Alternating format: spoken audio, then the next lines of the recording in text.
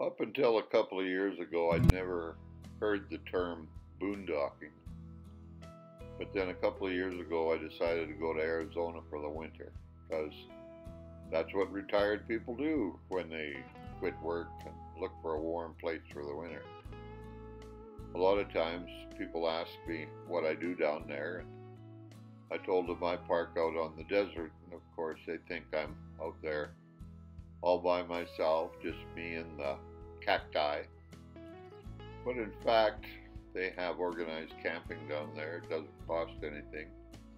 You just have to register, get a permit, and they let you park out there for two weeks.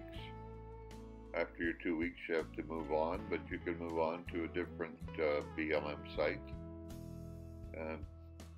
At least 20 miles away, I believe it is. But once you get there, you'll find that you're not the only guy out there. There's other units. There's been other campers before. Like here I am, parked by somebody's fire pit they probably put up there years ago, and other people have used it.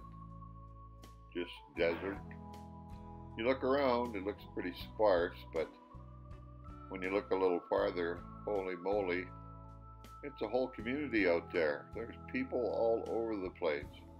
Some parked by the road, some parked way in the back. This time at Dome Rock, I came upon a, a, a cavalcade or a convention of campers. I believe there were casita fiberglass trailers, campers, truck campers, little fifth wheels. And there had to be a thousand of them all parked in the one little area. Of course, boondocking, you're out in the desert, but here at Dome Rock, outside of Quartzsite, just over the hill, that's the town of Quartzsite, only about four miles away. So you have access to everything you need groceries and fuel and propane. Now, some, uh, some sites are better than other ones. This one here was at the entrance to Joshua Joshua Tree National Park. Never stayed here, but I checked it out, and there's a few guys in here. It wasn't a very big area. Uh, a lot of guys in tents and uh, some big units, some trailers. Nobody seems to mind. Everybody camps together. Uh, this one uh, quite a ways away. And this uh, VFW campground just north of Yuma I really like, right beside the canal. And when I flew over here this time, there wasn't many in here, but about 10 days later, after I'd been here a while, this place just filled right up. And here's a BLM area I checked out uh, just north of Lake Havasu City. It's called Craggy Wash.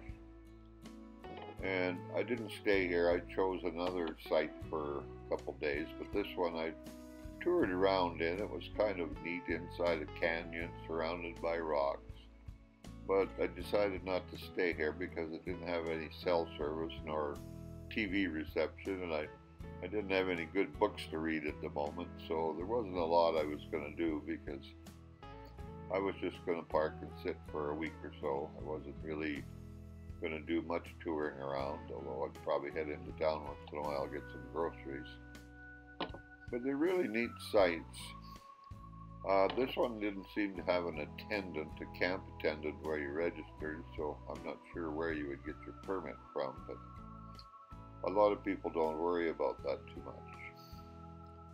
Of course, no matter where you park out there in the desert, you're always going to have great sunset. So if you decide to go boondocking, give it a try.